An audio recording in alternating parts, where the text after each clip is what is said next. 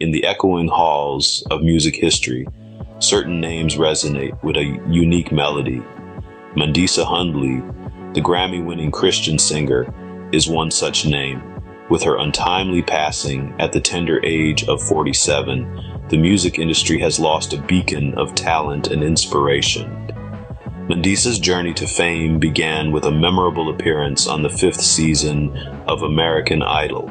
Her soul-stirring performances propelled her into the top 10, striking a chord with millions of viewers who were captivated by her powerful vocals and heartfelt delivery.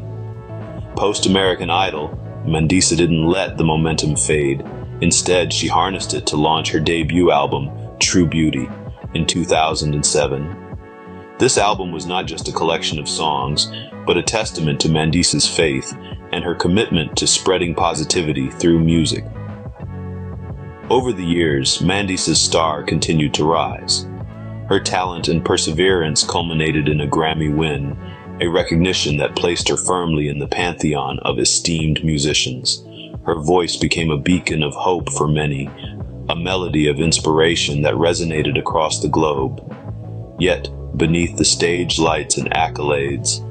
Mandisa's journey was also a personal one. Her music was her solace, her sanctuary, and her strength.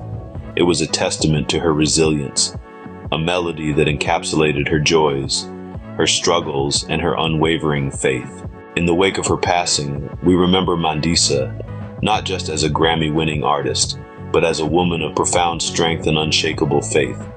Her music continues to inspire, her voice continues to echo, and her legacy continues to live on. As we honor Mandisa's memory, we invite you to join us in celebrating her life and her music. Click that like button if her music has touched your heart.